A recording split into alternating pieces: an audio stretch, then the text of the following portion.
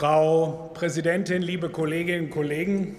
Es ist in der Tat interessant, dass die CDU-CSU eine Aktuelle Stunde zum Thema Klimaschutz beantragt hat. Ich kann mich da gar nicht daran erinnern, dass wir sowas schon mal hatten. Das äh, ist, scheint ja eine ganz neue Entwicklung zu sein. Und ich finde es ähm, sehr gut, dass Sie das tun. Ich finde es klasse, weil das gibt uns Gelegenheit, mal Bilanz zu ziehen, wo wir eigentlich stehen im Moment in der Klimapolitik.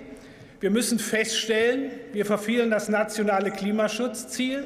Wir müssen feststellen, wir sind in den letzten Jahren, wir sind in den letzten Jahren vom Vorreiter zum Nachzügler geworden.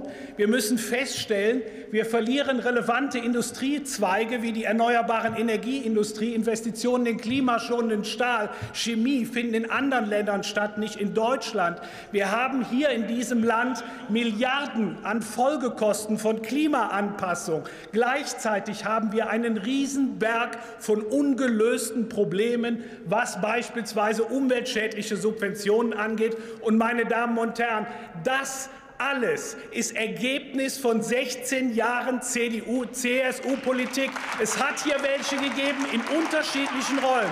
Die haben sich für Klimaschutz eingesetzt. Aber am Ende, da können Sie sich die Reden der letzten Jahre ansehen, hat es hier eine Partei gegeben, die hat immer und ausschließlich auf der Bremse gestanden. Und Frau Weisgerber, ich hätte es hier gut gefunden, ich hätte es hier gut gefunden, wenn das eine neue Politik sein soll, dass Sie wenigstens mal ein kritisches Wort, ein kritisches Wort zu Peter Altmaier, zu Julia Klöckler, zu Andi Scheuer gemacht haben, die nichts, aber auch gar nichts in den letzten Jahren für Klimaschutz getan haben, sondern das bestenfalls dem Koalitionspartner oder der Opposition überlassen haben. Und das wäre ein ehrlicher Neuanfang. Und ich kann Ihnen ja sagen, wenn jetzt das die ersten Gehversuche in der Opposition sind, da haben wir Erfahrung, da kennen wir uns aus mit Opposition. Ja, da kennen wir uns aus. Und zur Selbstkritik gehört dann, die muss erst mal kommen. Da scheinen Sie noch nicht zu sein. Der zweite Schritt muss aber mal sein, dass man sich ernsthafte Konzepte, Ziele anguckt. Und ich habe mir mal in Ihr Wahlprogramm angeguckt, was da eigentlich zu Klimapolitik steht. Meine Damen und Herren, Sie geben mit Ihrem Klimakonzept dem Begriff schwarzes Loch ja eine völlig neue Bedeutung. Und das ist Ihr Grundproblem. Und ich kann Ihnen nur eines sagen. Ich kann Ihnen nur eines sagen. Der Kollege Träger hat eben 10H-Regelung angesprochen. Wir müssen erneuerbaren Ausbau schaffen. Herr Dobrindt, gehen Sie nach Bayern. Gehen Sie so, Herr Söder. Machen Sie da Ihre Arbeit. Sorgen Sie dafür, dass eine neue Bundesregierung hier ernsten Klimaschutz in diesem Land machen, dass wir endlich wieder Vorreiter werden. Sie bremsen überall da, wo Sie Verantwortung haben, aus. Und damit muss Schluss sein, wenn das hier ein gemeinsames Erfolgsprozess sein soll.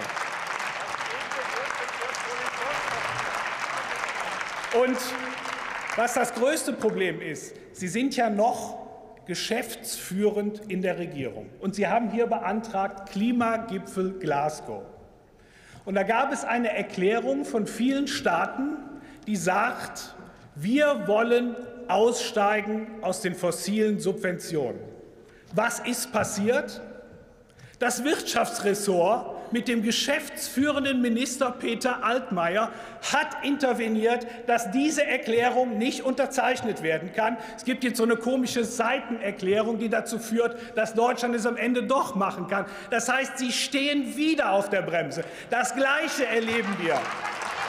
Das Gleiche erleben wir beim Ausstieg aus dem Verbrennungsmotor, beim Ausstieg aus dem Verbrennungsmotor, wo Sie seit Jahren die ernsthafte Debatte verweigern. Auch da bremsen Sie aus, dass Deutschland einer vernünftigen Allianz beitritt. Meine Damen und Herren, Sie haben es immer noch nicht verstanden von der Union. Sie versuchen jetzt noch, wo Sie hier schon abgewählt sind, Klimapolitik an der Stelle noch kaputt zu machen. Und damit und damit möchte ich zu dem entscheidenden Schluss kommen. Wir haben in den letzten Wochen eine Debatte auf der europäischen Ebene um die Taxonomie erlebt. Und auch da müssen wir feststellen, dass die geschäftsführende Bundesregierung, die Unionsteile, etwas tun, was erstens dem Klimaschutz zuwidersteht, was zweitens meiner Meinung nach auch den Interessen Deutschlands zuwidersteht. Sie versuchen, die Förderung der Atomenergie dort reinlaufen zu lassen, kombiniert mit Gaskraftwerken. Kommen Sie bitte zum Schluss, das Herr Krischer. macht diese Taxonomie wertlos, und das kann nicht sein. Das ist das Ergebnis Ihrer Politik, und damit muss Schluss sein. Das muss eine neue Bundesregierung ändern. Dankeschön.